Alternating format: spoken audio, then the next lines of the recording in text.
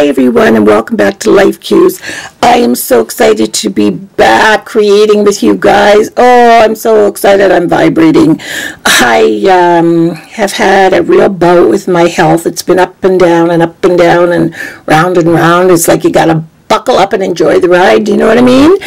But um, I've been going on daily walks, trying to get stronger, trying to get focused.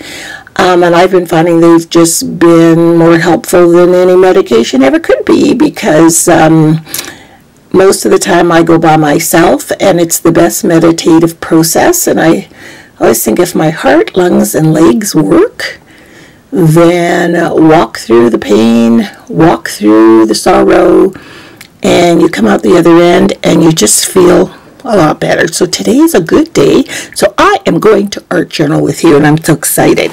Look at our book. At least my book. I'm sure if you're joining, following me along, if any of you are still following along, your book is getting just as thick. But when I picked this up and I was like, holy, we've managed to do quite a bit. Wowzers. So we're on this page here. And today and maybe the next few, but I can't promise, I want to focus on women and women's journey. Not like the Me Too movement or anything, but just women and their strength and their wonderfulness just in being a woman. I, I believe men are wonderful too, and, but I can't speak for them because I am not a man. But um, I'm just talking about us as women, or those of you that are out there that, that are women. Our prompt today is going to be no validation required. That's it. No validation required. You just do you you don't need anybody to validate that it's okay for you to do you. Just do you. That's basically what it is. And I've done do you before, but this is a little bit different. So let's get started. Okay, so while I was out walking today, I decided to look around at the, the colors I could see mostly. And because it's autumn and very autumnal, I saw still saw a lot of really vibrant green. I was surprised at how much how much green there was. Like when you're actually looking for colors, it's surprising how much actual green. I thought was going to be more orangey and reddy. So I picked green, orange, and kind of a really pretty browny, rusty color. Those were the colors I wanted to do my page in. Now this is almost too dark, so I don't want this green, so I'm just going to do it kind of on the edges because I really don't want it to be that dark. So let me go get a color that is more like this green. So this is Shabby Shutter, so I'm going to just kind of, yeah, that, that'll brighten up that color. And I think I'm going to have to get my applicator to get into the corners there. But I will do this first. You can see how juicy some of these are and some of these aren't hey but I want to get down that side there so definitely going to need an applicator and then I was just saying to Richard I kind of miss um, not being in the art cabin because so many things are out there that I want today, but I might run out there and get some paint if I can't make do. Isn't that pretty? It already looks like autumn. So let me get an applicator and finish up this inside edge there. So there, I've added some green and I'm just gonna blend in a little bit of orange in that corner.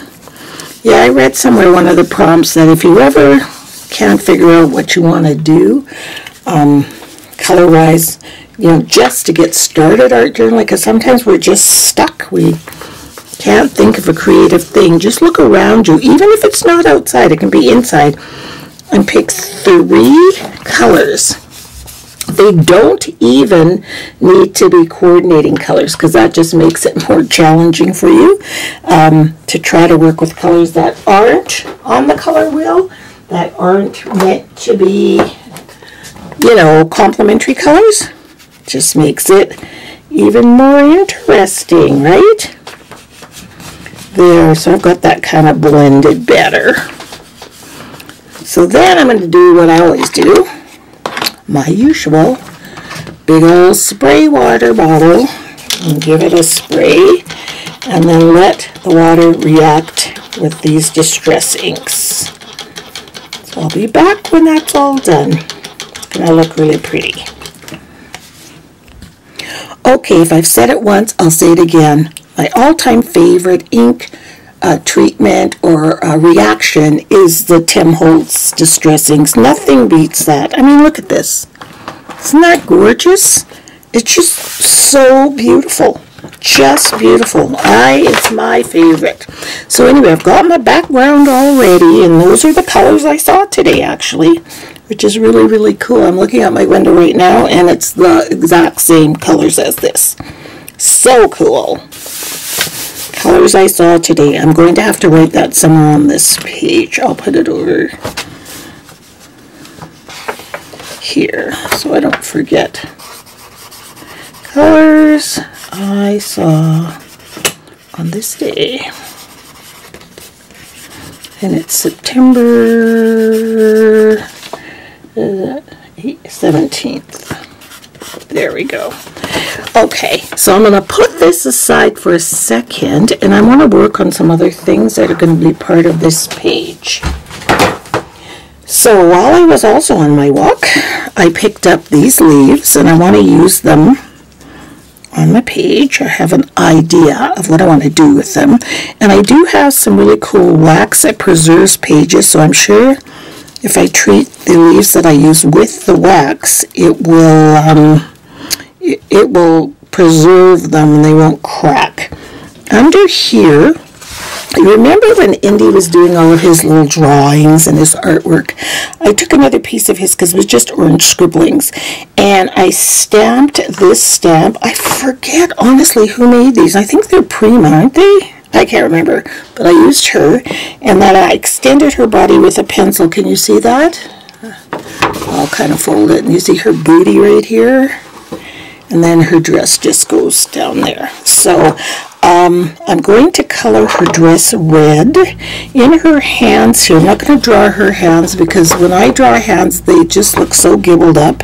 And I think I might just put some little tiny flowers or something in her hands. I'm not sure. And then I have been wanting to do that tea bag art in some capacity. So I've been saving tea bags. So what I do is I dry them on a paper towel that ends up looking this gorgeous when it's all done. Beautiful. And then I, at first I tried emptying them while they were wet. So you had to kind of rinse it and get it out and then all the tea stain went out of it. So now I dry them on the paper towel snip the edge and empty them once they're dry. So I've got quite a few saved in here. So I'm not sure what I'm going to do, but I want to try and use those somehow. And I've got some words from the Tim Holtz Quote Chips. These guys. And I might use the words on the page somehow and might put the tea bags over top of the words to give them a, let's just see how that would look, to give them a bit of a tea stained look, but you can still read them. So this one says be true. So you see what I mean? Like you can still read it, but it's got that tea stain. So we'll see. I don't know. That's what's going on in my head right now.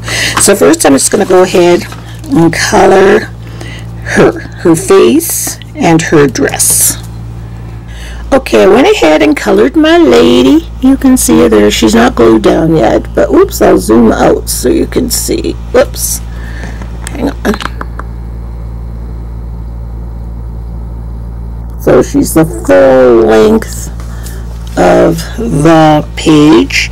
And I think I kind of want her on that side because I'm not sure what I'm going to do like in my head I had all these ideas, but I'm not exactly sure if they're going to work out, especially I kind of wanted to make the leaves like a crown for her head. So, um, let me see, maybe the smaller ones might work sticking out like, I don't want her to look like she's got on a headdress, you know, like a First Nations headdress. I want her to look like she has on a crown. And this almost looks like feathers.